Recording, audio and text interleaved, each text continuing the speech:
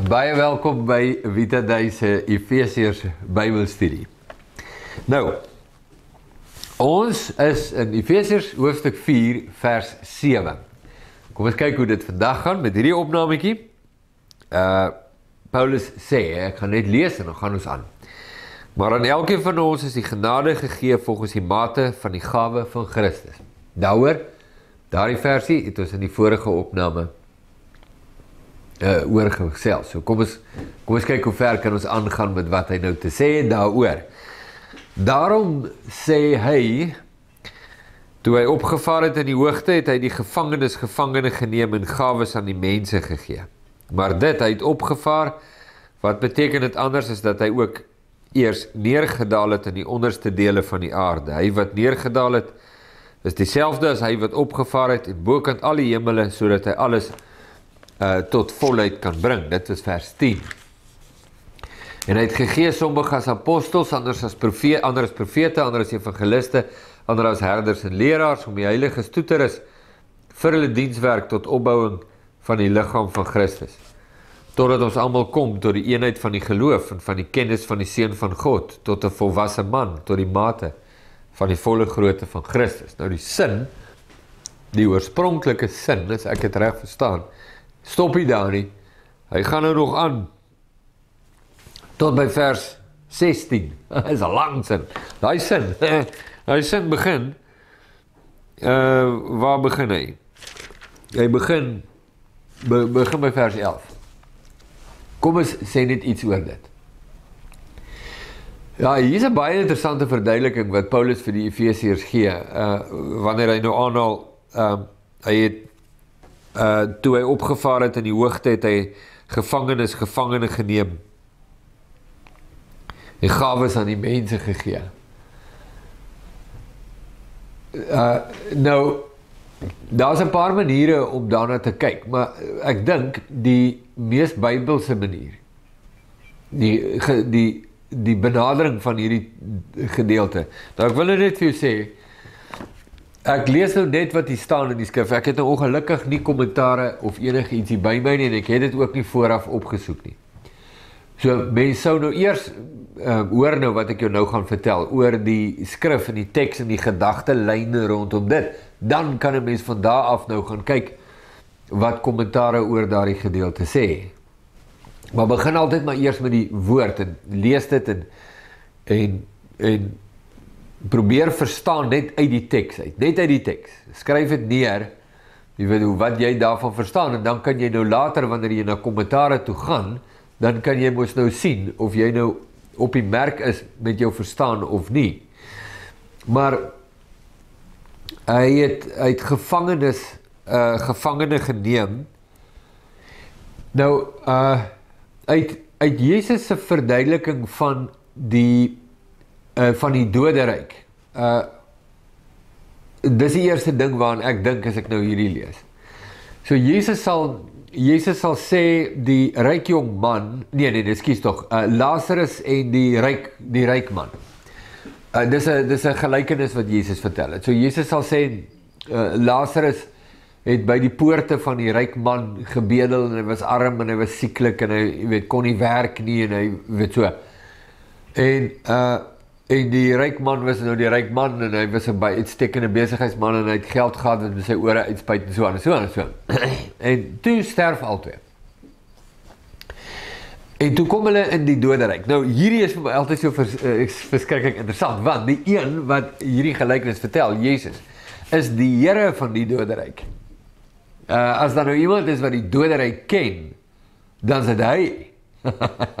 hy is die God van die doderyk. En ehm uh nou vertel hy, nou sê hy, nou dis die deel wat ons net niks van weet nie. Jy weet, so as iemand nou ergens sê maar hulle het 'n uh, uh uh wat is hy uh, near death experience gehad? Wat sit in Afrikaans? Hoe kan ek skielietjie daaraan dink nie? Ehm um, is weet hulle het ondervinding gehad waar hulle nou voel het hulle gaan uit hulle liggame en toe kom hulle nou in die ewigheid um, of in die hel of in die hemel en so aan. Is so ou erns getuig aan ons is skieurig houer. Ons wil weet wat ons weet niks van af. Niks, niks, niks, niks. So mense gaan luister graag hoor wat hulle sê. Wat? Wat hulle hoor het wat sê alles. Nou ja, of dit wat hy nou sê waar is of nie en so aan, dit is nou nie die bespreking nou nie, maar dis maar net ja, ons het ons is skieurig oor. Nou kom Jesus, wat die Here is van die doderyk. en hy vertel 'n gelykenis. So nou vertel hy, hy sê ehm um, die die arm bedelaar genaamd Lazarus in sy storie bevind hom in die doderyk in die boesem van Abraham. Met ander woorde in die vertroosting van Abraham. In 'n in 'n plek genaamd die paradys. En die ryk man bevind hom nie daar nie. Hy bevind hom ook in die doodryk, maar nie die paradys nie. Hy bevind hom in 'n ander plek waar daar uh, pyniging is. En tussen hierdie twee is daar 'n vreeslike diep kloof, so hulle kan nie oorkom nie. Niemand niemand wat hier is kan soontoe gaan. Niemand wat daar is kan nie toe kom nie. So jou plasing is finaal. en uh, en dan dan verduidelik Jesus maar hulle erken mekaar. Hulle is in die doderyk en hulle erken mekaar. Nie een sê vir die ander nie. Ja, hulle weet. En hulle en hulle praat mekaar. En die die een in die ander plek, nee die plek van kom ons nou by die plek van pyniging. Want ons kan dit nie ons kan dit nou nie die hel noem nie, nê, nee, want want ons leer uit uit ander verduidelikings in die Bybel dat dit nie die hel is nie. Dit is net dis nie die poel van vuur waarvan Openbaring praat nie, maar dit is 'n plek van pyniging. En dat daardie persoon wat daar is, is verhoor afwagtend. En die verhoor is tussen hom en God, en God se regter. En die finale uitspraak word gegee. Maar dit dit nou dit is nou teologie wat ek jou nou daar vertel. Maar kom ons gaan nou terug na Jesus se vertelling toe. So Hulle ken mekaar en hulle praat mekaar en die man daar in die plek van pyniging vra vir Abraham en vir Lazarus, "Maar kan julle net vir my 'n bietjie water gee nie?" En Abraham sê, "Maar luister, ons kan glad nie hoor kom nie." En dan sê daai man, "Maar stuur iemand na my broers toe om hulle te waarsku van hierdie verskriklike plek." En dan sê Abraham, "Maar as hulle nie na die lewendes luister nie, dan sal hulle verseker nie na die dooies luister." So, so weet so. Dit's so. Jesus vertel het. Nou dis 'n dis 'n segewende ding om te hoor uit die mond van Jesus want die een wat kan praat oor die lewe hierna is Jesus. Nou dit daar's 'n ander belangrike ding wat jy daarvan ook moet weet. Dit is dat die die doderyk na die opstanding van Jesus is uh kom ons sê nou maar die een helfte van die mense wat in die doderyk was weggeneem. In die doderyk was hulle as ware alhoewel Abraham en Lazarus in vrede en vertroosting in die doderyk afwagtend was. Want hulle was nie in die hemel nie. Hulle is in die doderyk. En hierdie ander mense is nie in die hel nie. Hulle is in hulle is verhoor afwagtend. Hulle is die hel weet ons nou van latere openbarings dat die die die hel kom nog. Kom ek los dit nou eers daar. So Jesus vaar af na die doderyk. Hy sterf aan die kruis en hy vaar af na die doderyk. Want hy sterf. Mense wat sterf gaan na die doderyk. En in die doderyk gebeur daar goeters. Daar gebeur dinge. Ons het baie min weet ons wat het Jesus daar gedoen, Maar Petrus raak dit so effentjies aan. Maar toe Jesus na die Vader gaan, toe neem hy al die mense wat in die paradys afwagtend was op die openbaring van die verlossing van Christus, neem hy met hulle saam, met hom saam. En niemand is meer, geen gelowige uit die Ou Testament is meer in die paradys van die doderyk per daardie vertelling nie. Is almal by die Vader. Saam met Jesus by die Vader. En gelowiges nou na die opstanding wat sterwe gaan nie doderyk toe nie. Want die nuwe en lewende weg is gemaak. Die boesem van die Vader is beskikbaar in Christus Jesus. Mense wat in geloof in Christus sterwe nou gaan reguit na die Vader. So as ek hierdie gedeelte lees, nê, nee, Ek lees toe hy opgevaar het in die hoogte het hy gevangenes, gevangene geneem en gawes aan die mense gegee.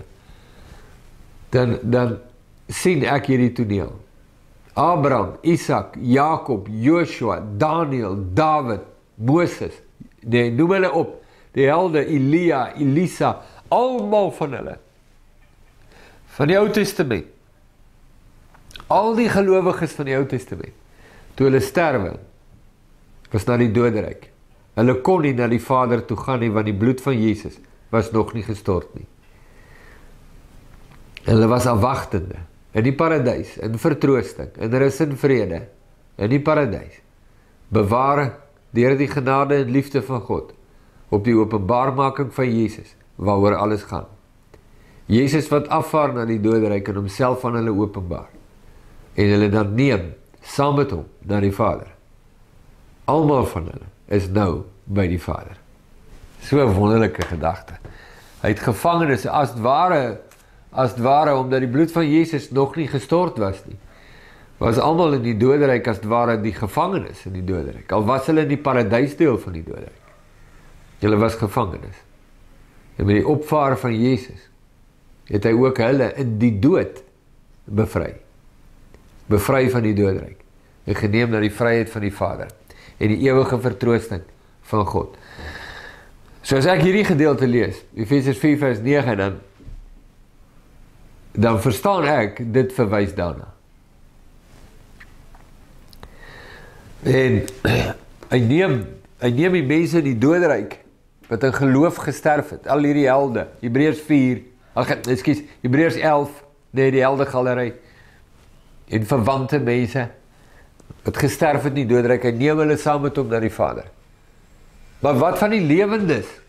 Wat van die lewende mense op aarde? Hy gee aan hulle gawes.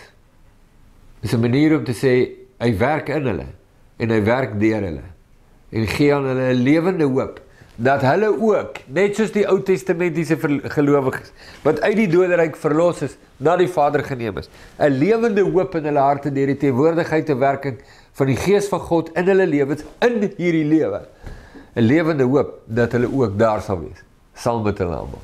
Dis hoekom die ou mense die liedjie gesing het daarbo in die hemelse Kanaan ontmoet ons mekaar seker daar.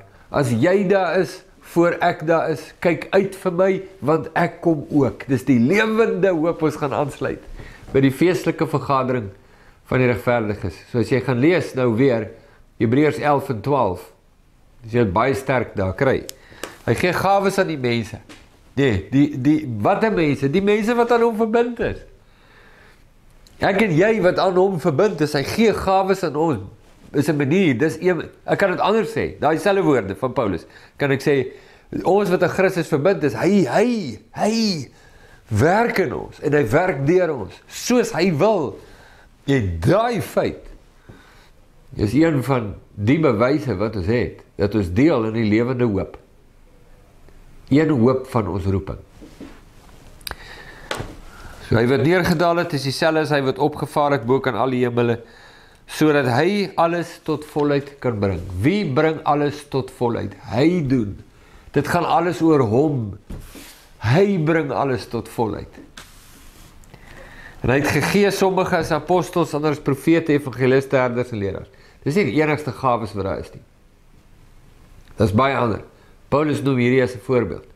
Hy praat met die Efesiërs oor spesifieke spesifieke gehoor in spesifieke situasies en hy spreek sekere dinge in hulle midde aan en sê luister en ek gaan jou sê wat ek vermoed wat ek vermoed hier agter sit en ek gaan vir jou sê hoekom uh daar onder die gelowiges was was baie kompetisie daar was kompetisie onder baie leiers oor oor wie volg vir wie En wie word geag onder die in die gemeenskap van gelowiges?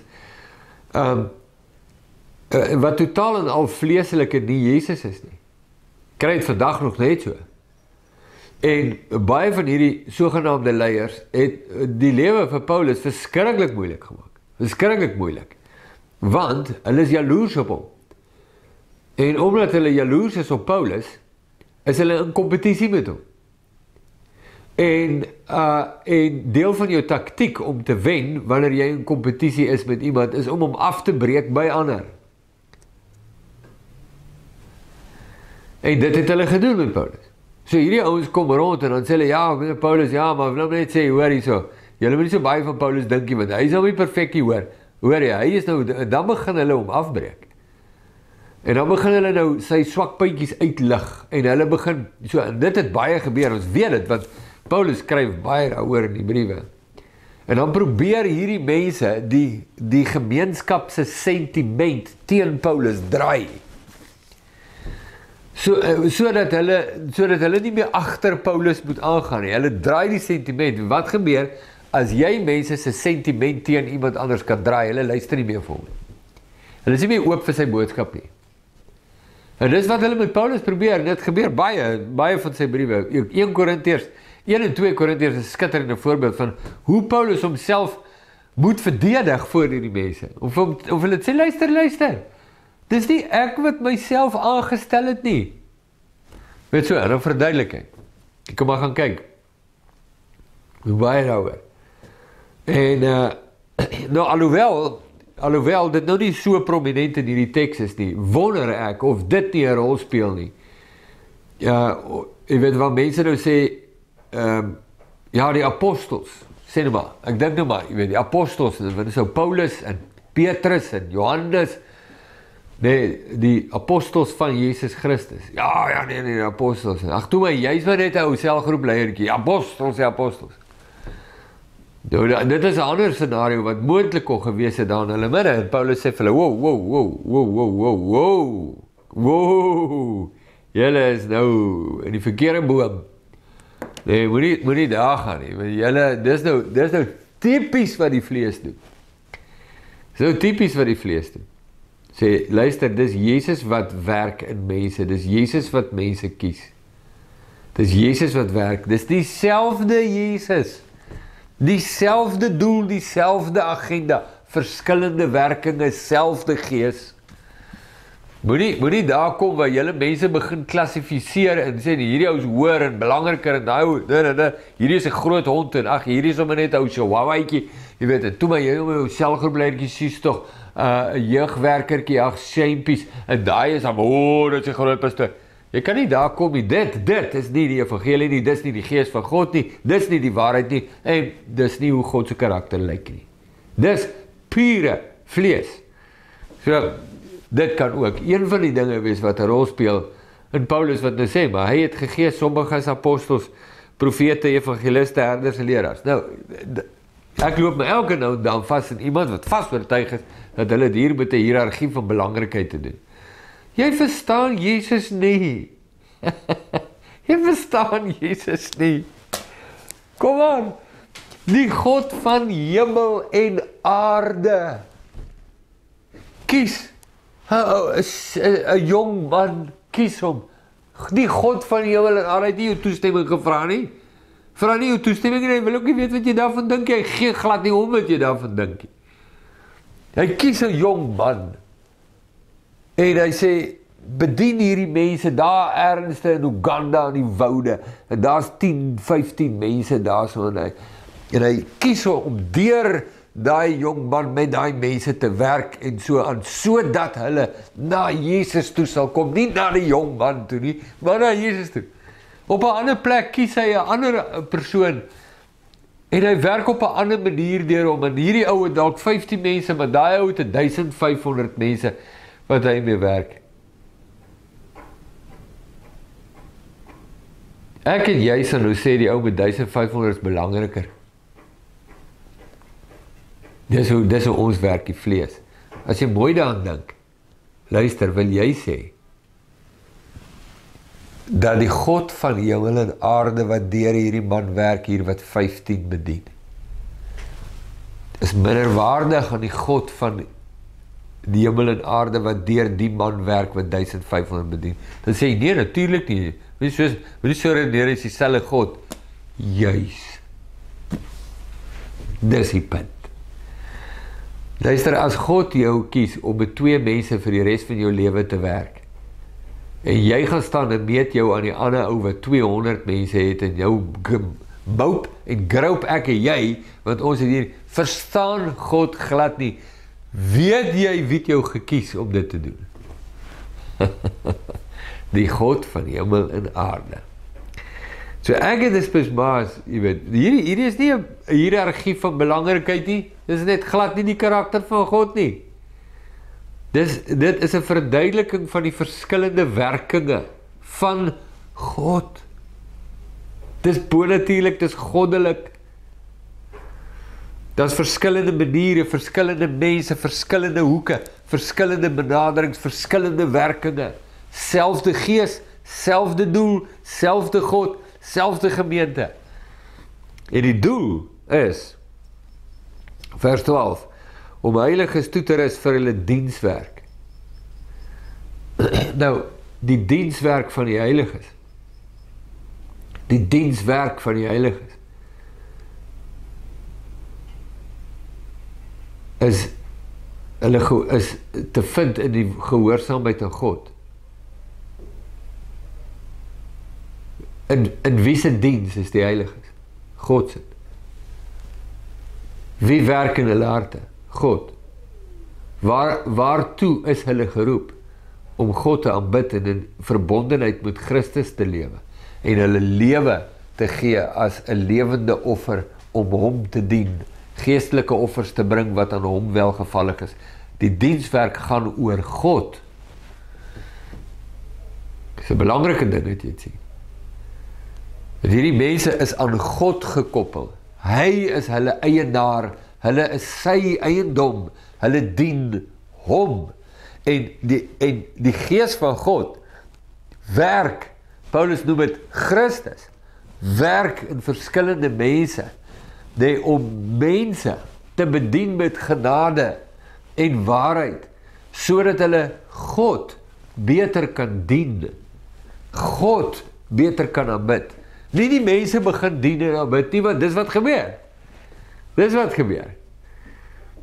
Jy weet, ons ons vat mense van God af weg en ons kry hulle om ons te aanbid. Dis wat gebeur.